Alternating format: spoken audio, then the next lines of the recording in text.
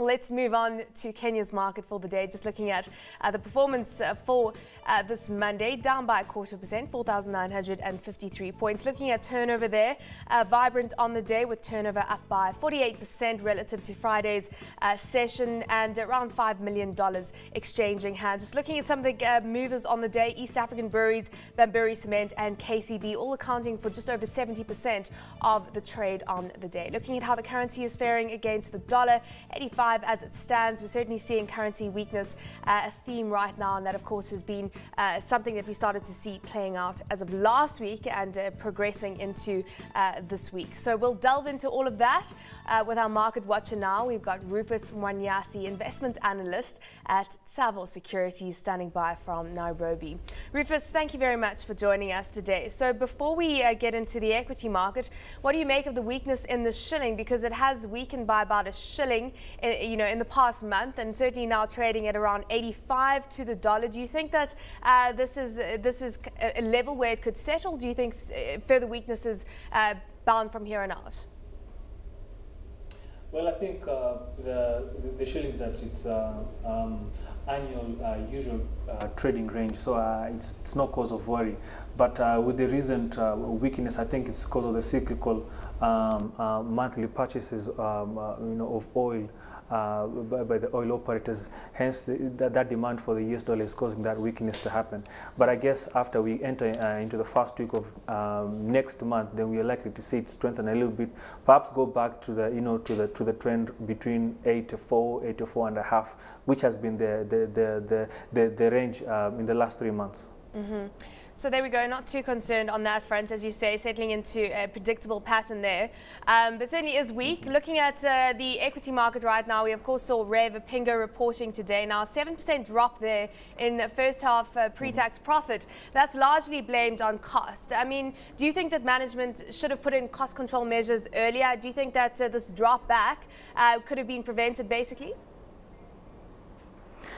Well, um, yes, I think so. if the ma management had put more effort in terms of maintaining their costs and you know cutting down on the costs, perhaps we might see we might have seen a, a, a different return on their uh, on their bottom line. But however, I think the manager, the management has done really well um, um, in, in the face of what happened in the last six months. Uh, we're talking of interest rates, uh, you know, still in the double digit. So I think they've really done well even to produce, uh, you know, a slightly, you know, um, okay, of, of course the profit has come slightly lower, but I, I think in, in the face of what happened in the last six months, I think they've done really well. So credible performance, uh, does it still make for good investment though? Uh, well, I think my take on just the whole sector on agricultural is, is, is a bit of an all-go zone right now because uh, the prices are a bit choppy.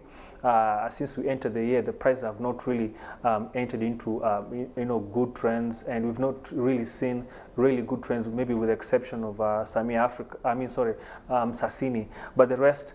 I, I, I think uh, it, they may be good long-term plays, but for short-term plays, I, I, think they're a bit choppy, and I think it's a no-go zone right now, despite uh, the good results like we're seeing from Rea Vipingo.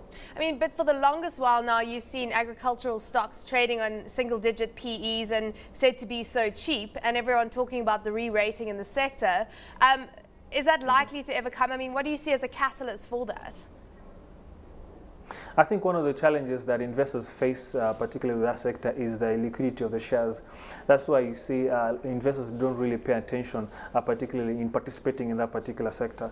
I, uh, I, and even when you look at in terms of pricing, uh, most of them are trading in triple digits. So I think that's really a put off for most investors. So they rather choose on other sectors where the price are a bit more pocket friendly. So I guess maybe on those two challenges, I, think uh, you know if, if there's a bit of reversal on that, perhaps we might see more in, increased participation.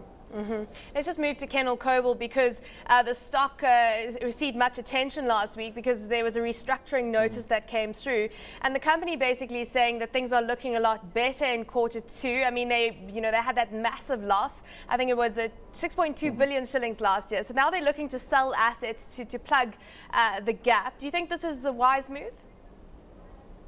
I think it is a wise move. Um, and I think even from a, from a market's point of view, we want to see uh, such moves happening uh, just to win uh, investors' confidence back into that stock. But I think when you look at the sector, I think it's really um, uh, despite you know the, the huge loss that they suffered last year, they're still in a stronger position compared to its competitors. Um, and I think in terms of its diversification geographically, uh, in terms of you know the, the, cash reserves that it still has, um, and even with the able management, I think the, uh, the, the, stock is really well placed, um, even even for uh, to have good performance for this particular year. And yes, we've looked at some of their proposals on what they want to do. They said one of the things they're still open for you know for, for a strategic uh, investor to come take have, have a stake in the company. Um, we also like saying one of the proposals sell some of the non-core assets. I think these are good moves in just trying to reestablish itself within the sector. But I think it is a good uh, stock uh, uh, to, to watch.